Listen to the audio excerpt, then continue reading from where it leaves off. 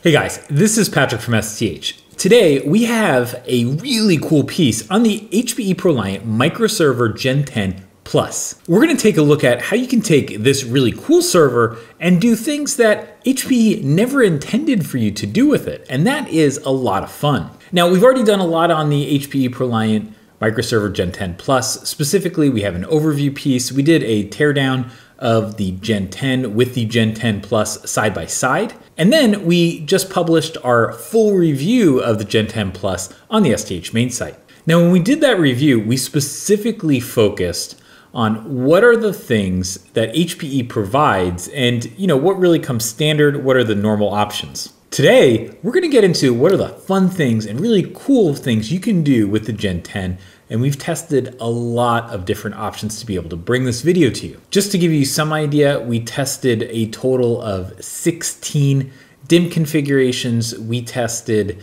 a total of 23 different CPUs in these systems. We tested a variety of NICs, storage devices, you name it, just to give our readers and you on YouTube a really good idea of what you can do with these boxes.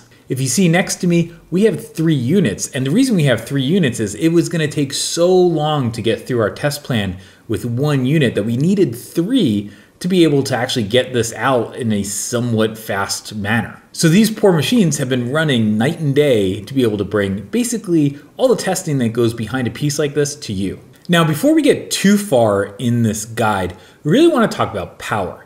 Now, the new ProLiant Microserver Gen 10 Plus uses an external 180 watt Lite-On power brick. And that means practically that you get power limited often well before you get expansion limited. So if you take that 180 watt power supply as kind of an upper limit, just think with the Intel Xeon E2224 model that comes standard with two 16 gig DDR4 DIMMs and one SSD, installed. So not fully outfitted, not even close, you're still able to push over 110 watts, which means that you have no more than 70 watts available for, you know, customization. Now there are going to be people and there already are people customizing this platform with configurations that, you know, may give a little bit of a wow factor, but are actually kind of dangerous because when you exceed a power supply power limit, one of the things you have to worry about is are you going to create a fire? It's a low chance in a lot of cases, but it's one of those things that you just don't want to do. So our guide is specifically designed because we've done the testing to not light your house, not light, you know, your office, not light your branch office or your client's offices on fire because that's an important part we think to being able to do a modification video right. So realistically, the maximum headroom that we have for being able to do this customization is about 70 watts, but if you kind of take a step back and you were to give a little bit of a margin of safety, like a 10% margin of safety, you only have 52 watts to play with. And if you go to 80% of the circuit, it's even less than that. Now we're gonna go through this video and we're gonna have a lot of different items. We're gonna have some kind of idea in terms of timing in the description. Also, check out the STH main site where we're gonna have the companion article to this piece and we're gonna have that updated with more information as we get it, but we think we have a pretty good body here. Okay, all the warnings aside, let's start talking about one of the most important and most frequently asked questions that we got when we published our original series of content, and that is memory. What can you do in terms of memory in the system? Now, HPE says that you can use up to 32 gigabytes of unbuffered ECC memory. We, of course, thought that's great, and we tested it during our review because we had two 16 gig HPE DIMMs, and it worked fine. But can you go to 64 gigabytes? The Intel specs on the Xeon E 2224 say that, yeah, you can go up to 128 gigs, which means you can use 32 gig unbuffered ECC DIMMs. And so we decided to try that. But we didn't stop there. We used 4 gigabyte, 8 gigabyte, 16 gigabyte, and 32 gigabyte ECC UDIMMs. Now note these are not RDIMMs. And not only did we check the ECC versions, but we also said, hey, if ECC becomes capacity or supply constrained, especially given the current environment, well, can we use non-ECC memory and just use consumer memory? And so we tested a total of eight different RAM configurations in two DIMMs mode and in single DIMM mode, we tried them all again. That gave us a matrix of a total of 16, but we simplified it and we said, okay, well, it turned out that everything actually worked. And so our basic guidance here is you can use up to 32 gigabyte ECC UDIMMs or non-ECC UDIMMs with the machine. Again, you can see the main site article for more information about what we did and how we tested this. Okay, let's talk about the second big one that we get, and that's around CPUs. Now, we tested a total of 23 different CPUs in here. HPE actually told us that the system should support any CPU up to 71 watts, but they weren't necessarily sure what would happen if you know you go up to some of the higher TDP parts. And so they actually specifically asked us to test that for them, and so that's what we're doing. And on that note, we started out with the Intel Xeon E 2288G. Now this is an 8-core 16-thread part that is basically the highest end part that you can put in an LGA 1151 socket on the Xeon side right now. We didn't know if it would work, so it was kind of a test just to kind of test the upper limit of what the microserver Gen 10 Plus could handle. What we found out was that, guess what? It worked, no problem. But there was a catch. Although it booted into Windows fine, it worked what looked like it was going to be perfect. It actually wasn't. When we loaded up Prime 95 and we actually went and did a stress test of the CPU to see, hey, what happens if this thing gets loaded? What's going to happen? We actually saw power consumption well in excess of 190 watts. And that's a big deal because that's actually more wattage than the DC power brick is rated for. You do not want to run a configuration that's using more power than your power supply can handle. That is a recipe for absolute disaster. What's more, we actually tested that and we saw those kind of power consumption numbers and we only had the two DIMMs, we had one SSD and no PCIe add-in card installed. We had no hard drives in there. And this was absolutely a bare bones configuration. So what it looks like is we're not going to recommend that you put the Xeon E2288 in there. So over the course of testing 23 different processors, we kind of came up with a matrix. And this matrix kind of shows what we saw in terms of max power consumption in that minimal configuration. We then kind of looked at, okay, what are the ones that use over 130 watts? And the reason we use 130 watts as our cutoff point is because you know we figure you still kind of want some power to be able to power say four hard drives which can use six and a half to nine watts pop and so you need to make sure that you're leaving some room for those we also probably want especially if you're going to go to a higher end cpu you probably want to go put a nic or some kind of add-in card and you may want to go power a solid state drive. And so when you look at what that looks like in terms of total power consumption, we really thought that about 130 watts was about the maximum that we felt comfortable recommending to our readers.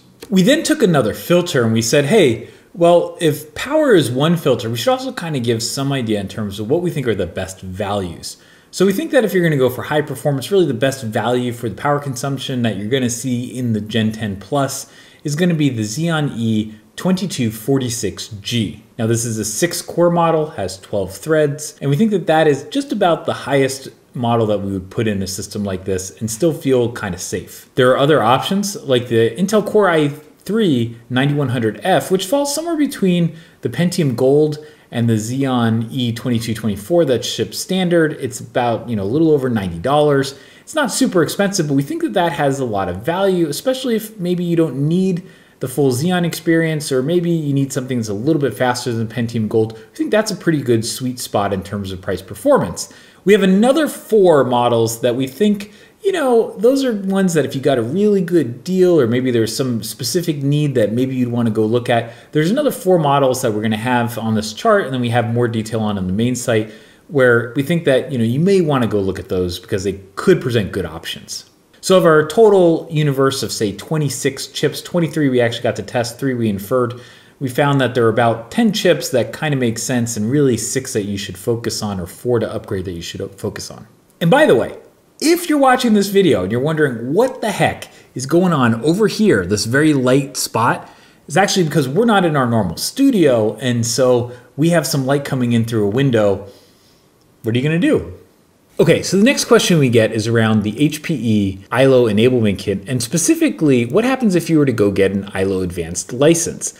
Now, If you get the ILO enablement kit, not only do you get the dedicated NIC port, but you also get the ability to use the onboard i350 AM4 as a shared NIC. Now, the ILO enablement kit comes with basically ILO essentials, but you could go out and buy an ILO advanced license and load it up on the microserver Gen 10 Plus. So in edge deployments, something that is used more often than a lot of people will recognize is the idea of using a shared network port for your management and also a primary networking port. Now, the reason you do this is it just means that you need less switch ports. It's you know a little bit less expensive to run, and so some people do it, especially on the edge. Instead of using a dedicated network port for management, you use a shared network port. With the ILO enablement kit, you can do this no problem. But when we put on an ILO Advanced license, we thought, hey, that should be a feature of ILO Advanced. So what would happen if we pulled out the ILO enablement kit?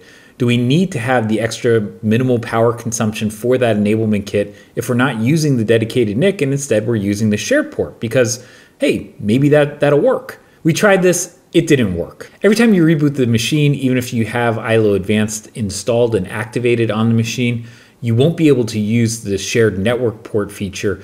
You need to have the ILO enablement kit, even with an ILO advanced license activated on the system. Kind of a bummer, but it's something that we had a lot of people ask about, and that's the deal. All right, let's talk storage for a little bit. Now, one of the really cool things and fun things that we did that we definitely don't recommend is we actually hit 140 terabytes of raw storage on a microserver Gen 10 Plus, and that's a single unit. The reason we did this is we wanted to test using external hard drives with the microserver Gen 10 Plus. External hard drives are very common because you'll see places like photography studios, you'll see people use them, for example, for just backups. And so a lot of people plug USB 3 hard drives into edge servers like this. Instead of doing just one, we said, hey, well, we have four 14 terabyte drives inside the machine. What if we instead had, you know, six 14 terabyte drives outside of the machine and we just tested all of the USB ports at once and you know we could see if that indeed would work. And so we got a whole bunch of these Western Digital Easystores and we hooked them up. And what did we get? Well, you can see the result. We had 140 terabytes of raw storage, which in a ZFS pool, we put them all together and we got 127 terabytes ready to go in a new zpool. Again, this is something we totally would not recommend, but we just did it kind of as a fun little bit and also just to see if we could load all USB ports up at once. And we did want to note one thing that's really important. All the drives that we use actually have their own DC input, and that's important because they're externally powered. And by being externally powered, what that means is that they're not pulling power to run the drives off of the microserver Gen 10 Plus. By using drives that have their own power, we essentially weren't using power from that 180 watt microserver Gen 10 Plus power brick. There are options out there, especially two and a half inch drives, where you can get hard drives that use power straight off of the USB bus, but then you do have to worry about whether or not you're going to overload that power brick. Okay, let's talk hard drives for a minute. Now, we tested both 5400 RPM, but also 7200 RPM 3.5 inch drives inside the chassis. And if you take a look at these 14 terabyte 5400 RPM drives that we have, what you're going to notice is that they work pretty darn well. Each of these 14 terabyte drives that we put inside each use about six and a half watts, which means that altogether you get somewhere around 26 watts of power from these four drives. Now, we tested the HPE ProLiant Microserver Gen 10 Plus with 7200 RPM drives as well. Specifically, we used HGST 10 terabyte units just to see if there was enough cooling capacity inside the chassis for those kind of higher wattage, higher power drives. And there was enough cooling capacity. However, they use a lot more power. And using that much more power means that there really isn't that much room, especially if you want to have a NIC, potentially an external SSD. Our overall recommendation is that you stick to 5400 RPM drives, keep cool drives, low power drives, and have a bigger power budget, especially if you're going to upgrade CPU or something like that. One other huge note on the hard drive side is that these drive bays are not hot swap drive bays. We've seen quite a few people online and people that really realistically should know a lot better say that they're hot swap drive bays. They are not. Turns out when you do hot swap drives and drive bays, you actually need a very specific power pinout and data pinout to be able to safely power on a drive. And these, because they're cabled in the back, they don't have that pinout, which means they are not hot swappable. So if a drive fails, you pull the drive out and you put the new drive back in, you will not see that drive until you reboot the server. That has some big implications, and that's one of the reasons that this unit did not get our Editor's Choice Award. Even though we don't give it out very often, it was very close, and that was one of the deciding factors. And finally, we just want to say you see all these Western Digital Easystore enclosures. We were very successful liberating the 14 terabyte, 12 terabyte, 10 terabyte drives from those enclosures and using them in the microserver Gen 10 Plus. And you might ask, well, why would you do that? Well, there are four drives, and if you can save over $100 per drive, $150 a drive, that's somewhere between $400 and $600 of savings for somewhere around six or seven minutes of time opening the drives up and pulling the drives out. So if you want to go do it and you're into shucking drives, that's something that is totally going to work with the microserver Gen 10 Plus. And just to give you some numbers on that, We've done that now with 12 drives on the 14 terabyte side, 8 drives on the 12 terabyte side, and 8 drives on the 10 terabyte side. So we've done it with quite a few drives at this point. You're probably going to want to use an SSD or maybe more than one SSD in the microserver Gen 10 Plus because, hey, it's 2020s. Why not? Now, HPE actually sent us a 2.5 inch SATA SSD, so we're going to start there. And that is the HPE Samsung PM883 240 gig SSD that's up there. Now, what you're going to see with this is that you can't actually place that SSD in the microserver Gen 10. Plus, because the way that the bays are, you actually need to have little pegs, and those little pegs only work with 3.5 inch drives. So, what you need is an adapter. Now, there are a whole bunch of different adapters that you can go buy. We use these HP adapters, they're very inexpensive. We have tons of them because we use them all over the place and they work really well for us. So, we have more information on those on the STH main site. Go check that out. Another point that we wanted to mention is that you actually can use a SAS SSD or multiple SAS SSDs with this chassis, even though they're not hot swap, you can still use them. In this price range, really think that most folks are just going to use SATA. And one of the more important things about using SAS SSDs in here is that by using a SAS SSD, you can use a RAID controller, but that external RAID controller is going to sit in your PCIe slot which means you can't get higher speed networking. So if you go to high speed SAS SSDs, you can't use high speed network to serve data from those SSDs to the network, which doesn't really make a lot of sense. So we're going to say that you're probably going to use SATA SSDs, and you know you can use whatever you want. They cost a lot more than traditional hard drives, but there are some cases, and a lot of cases, where that may make sense, especially at lower capacities. So you can also use SSDs on the internal PCIe Gen 3 by 16 slot. If you want to use SATA SSDs, what you want to look for is a PCIe card, specifically a low profile PCIe card that has a SATA controller built in. You can get up to two M2 SATA drives installed into that slot, and that actually is a pretty good option if you just need a couple extra drives. Now, if you want to look at NVMe drives, that's something a little bit different. Now, we actually checked, and you can use PCIe bifurcation, and in theory, you don't need a special M2 adapter card with a PCIe switch on there. There are cards like the StarTech one that you don't even have to deal with that because it has a switch built in. We have information on that on the STH main site. Still, we generally say don't use a PCIe switch if you don't need to because it adds power consumption to a power constrained environment. You also have added cost, and so if you don't need that, we suggest not doing it. The other option that you have is that there are actually cards that use two PCIe SSDs effectively on a single normal add-in card. And those are things like, you know, you can look at something like the Intel DC P3608, which was a pretty popular example of that kind of card. There are newer versions of that, and that's something to just look at because there are two, essentially two SSDs that are on a single add-in card. Of course, the disadvantage is if you do use that PCIe slot for SSDs, it also means that you don't get high-speed networking, or at least 10 gig plus networking on the platform. Okay, let's talk a little bit about what you can do if you can't really use SSDs in that PCIe slot and you're just kind of looking at how do I add a boot SSD because that's important to me. Well, if that's the case, the HP ProLiant Microserver Gen 10 Plus can actually boot off of USB media, which means you can get a USB 3 SSD and just use that. And we did. We actually have the Seagate One Touch 500 gig drives. They're about $70 or so. They have worked fabulously. We actually have one for each one of these servers because they work so well. And so that's a really good option. They don't use much power and they're reasonably fast. They can do about up to about 400 megs, 300 400 megs per second transfer, which is actually pretty good.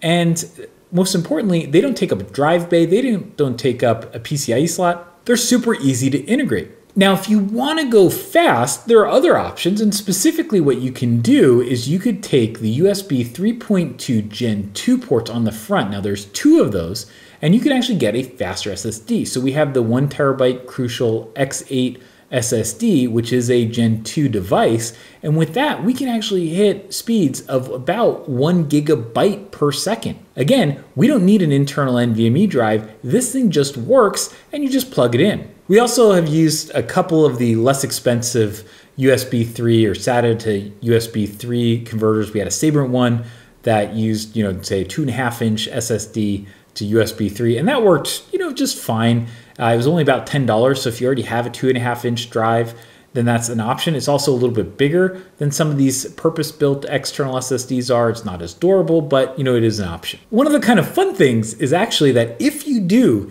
use these USB SSDs, then technically, because they're USB, those are hot swappable drives, while the internal drive bays are not hot swappable. That's kind of fun. Also, another thing that's really important is that if you are powering these devices, most of these SSDs are powered off of USB bus power. And if you do that, they do count against that 180 watt total system power limit that you have because of the external power supply. So keep that in mind, especially if you're going to use a lot of them.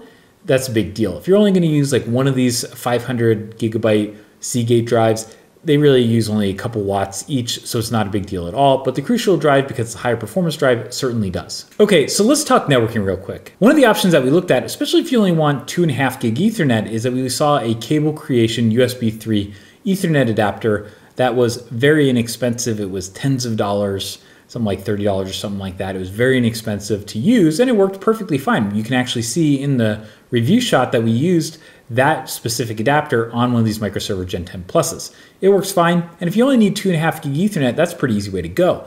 You can also use some of the internal adapters if you wanted to use your PCIe slot for that.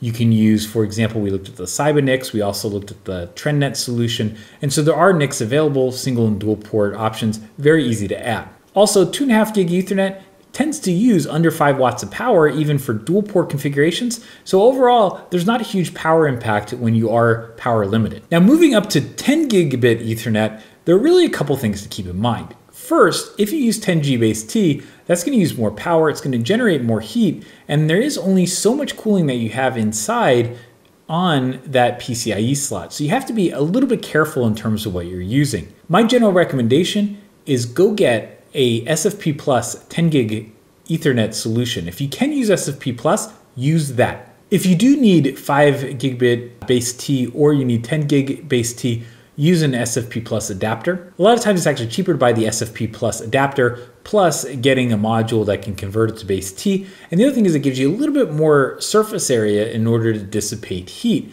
So it actually works fairly well in this configuration and that is our general advice is go do that. Now we have looked at a couple different options here. What you're probably gonna wanna do is you probably wanna get a newer 10 gigabit ethernet adapter. And really what we're talking about here is at the absolute oldest, you're gonna want something that's Intel X520 based or newer. One of the newer options that we tested was actually the Intel 710 adapter, and we actually can use a four port model you do have to be a little bit careful because with the 710, there actually is a larger full height model and a low profile model. You want the low profile model for this unit, but if you do use that, you can actually get quad 10 gigabit Ethernet ports in the microserver Gen 10 Plus, which is a very cool use case. And specifically, the reason it's a cool use case is it allows for node to node direct connect networking. There are some cases where you may want to use that actually we're starting to see some Azure Stack and some other edge services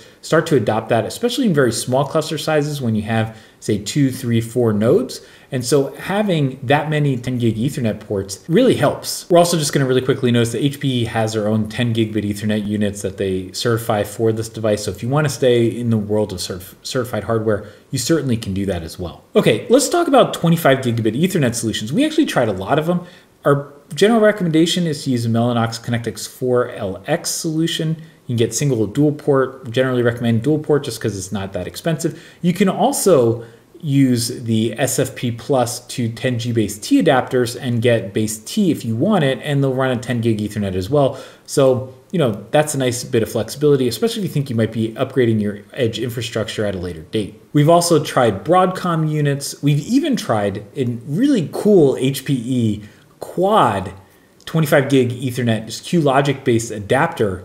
We tried it in here. It's a little bit loud, so it's probably not something that we want to tell people to go use, but you actually can use it as long as you have the low profile bracket. It's a quad port adapter that runs all four ports out of a single QSFP 28 port. And so you can actually get 100 gigabits worth of networking out of your microserver Gen 10 Plus. I'm not sure why you'd want to, but you could. And that kind of brings us into the 40 and 100 gig Ethernet discussion. You totally could use a 40 gig or 100 gig Ethernet adapter with these units, but at some point, kind of the question is like, why? If you're going to get that high end networking, well, you know, realistically, you probably want to go to a different class of machine. And also, some of the 40 gig and some of the 100 gig Ethernet adapters use a lot of power and generate a lot of heat. And that's not good either for your power budget, but also just for keeping things cool and quiet in your microserver Gen 10 Plus. So, generally, we would say 10, 25 gig Ethernet makes kind of sense. But going beyond that, especially even that quad port 25 gig Ethernet adapter, we'll give you details on it on the main site, but not something that we're going to recommend at this point. Okay, now if you want to get really out there, there is a solution that we wanted to cover, and that is over here on this side, what you're going to see is this purple board with a copper heatsink, and that is a QNAP. I have no idea. We're going to have the model number and description because I'm not going to be able to say it. it's too long. We're also going to have it on the main site, so go check that out. But there's this QNAP unit that actually uses an Aquantia 10G base T controller plus two M.2 NVMe ports on it. Using this adapter in a single slot, you can get both 10G base T as well as two NVMe SSDs. Now, the card itself is somewhere in the 230 to say $250 range. It's not super inexpensive, and there's probably another reason you don't want to use this card. The way this card is architected, there's a PCIe Gen 2 by 4 link to the main system. And off that, there's a PCIe switch that then goes to both the NVMe SSDs as well as the controller for the NIC. And so when you look at what happens, you actually only get two PCIe Gen 2 lanes that go to each NVMe SSD. So that's four lanes. And then you also get some lanes going to the 10G base T controller. And what that practically means, if you're thinking about it, wait, wait. Now, so PCIe Gen 2 is about half as fast as PCIe Gen 3. And instead of getting a full four lanes, we only get two lanes. So that's right, you effectively get the performance of a single lane PCIe Gen 3 device or storage device from that NVMe SSD. That's, in terms of performance these days, not very fast at all. And it gets even worse because if you think about it, you have four links, four PCIe Gen 2 links to the main system, but then you have four just on your NVMe devices. So what happens to the network controller? So it turns out if you're actually running the network controller at the same time that you're accessing your SSDs, you can actually get so much contention that you cause lower network traffic and lower SSD bandwidth because of that. So in absolute best case, it kind of works okay, but realistically, this is a solution that works. It looks kind of cool. QNAP marketed it, but it's something that we would say stay the heck away from. Instead, that $230, $240 is much better spent getting USB 3.2 Gen 2 SSD like that Crucial X8 one terabyte unit that we use. You can still get actually more sequential performance out of a SSD like that than you can with an internal NVMe SSD if you're on a PCIe Gen 2 by 2 link. So certainly just go get the USB drive and save yourself all that money and trouble of trying to get this really fancy QNAP device because it worked We thought it was going to be really exciting, and it turned out that it, well, it kind of wasn't. Well, one thing is for darn sure. We have covered a lot of ground just in this video alone, but we actually have a lot more that is on, you know, this whole setup on the STH main site. So we're going to tell you, go check out the STH main site for kind of more description, more power consumption numbers, some of the model numbers that we weren't able to go and share on this video. We have a much bigger guide, very in depth on this. And not only that, we're going to keep that guide updated. So as we find different options, we're going to go put more information into that guide. So there's a single resource where anybody that's thinking about modding one of these microserver Gen 10s can go to a single place and see things that everybody in the community, as well as what we've tested, all in one place. Hey guys, we hope you enjoyed this video. This took an enormous amount of work, as you can see, and we had to go buy extra systems. We had to buy tons of different devices to be able to go hack together different configurations. But I think at the end of it, we actually came up with a lot of really good advice in terms of what you can use, what you can't use, and some of the ways that we think about configuring our systems as we take these systems from test systems and start to use them for our own purposes. If you like this video, help support the site by subscribing to our YouTube channel and turn on notifications so you can see whenever we come out with a new video. You can also check out some of the things that we've already uploaded on YouTube. And at the end, I just wanted to say thanks for watching and have an awesome day.